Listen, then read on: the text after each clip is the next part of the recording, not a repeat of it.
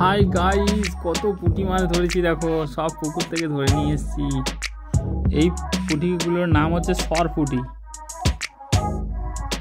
এগুলো খুবই টেস্টি ভাজা এবং মাখা মাখা করে ঝাল করতে হবে।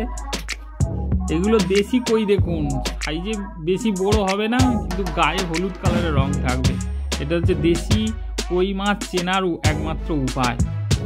এই দেশি কই মাছ কিনে একবার কই তেল খাবেন। সারা জীবন মনে রাখবেন যে দেশি কই মাছের টেস্ট কেমন? কই মাছ কেমন খেলছে? দেখুন জলের মধ্যে কীভাবে খেলছে।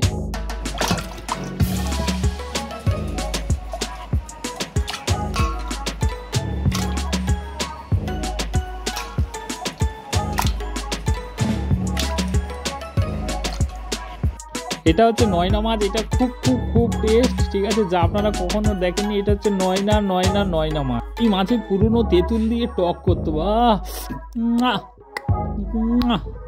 আর একটা নতুন মাছ দেখাচ্ছি, এখন এটা খোলসা মাছ। এটা হচ্ছে খোলসা। এটা সাধারণত কম বেশি দেখতে পাওয়া যায়। এই মাছটাও খুবই ভালো টেস্টি মাছ। এটাও পুকুরের মধ্যে থেকে ধরা, এইগুলো দেখো, নয়না পুরো। কতগুলো একসঙ্গে, এতগুলো খুবই কম পাওয়া যায়। এর পরের বারের ভিডিওতে পুরো জাল দিয়ে মাছ ধরছি পুকুরের মধ্যে কীভাবে, সেগুলো সব আপনাদেরকে দেখাবো। আপনারা আমার চ্যানেলটিকে সাবস্ক্রাইব করে রাখুন লাইক দিন বেশি বেশি করে, আরও ভালো ভালো ভিডিও আপনাদেরকে দেখাবো। দেশি যে কোনো মাছ নিতে চাইলে কমেন্টে ফোন নাম্বার লিখবে, আপনার নাম লিখবেন। আপনাদের সঙ্গে যোগাযোগ করে নেওয়া হবে। মাছ যেদিন পুকুরে জাল দেওয়া হবে, সেদিন ডাকা হবে আপনাদেরকে।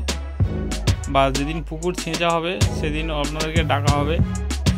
দেশি মাছ যদি তরকারি খেতে চান, তাহলে বাড়িতে আসতে হবে। তাহলে রান্না করে আপনাদেরকে খাওয়াবো। এর পরের ভিডিওর জন্য আপনারা অপেক্ষা করুন। ভালো ভিডিও নিয়ে আসব আপনাদের জন্য।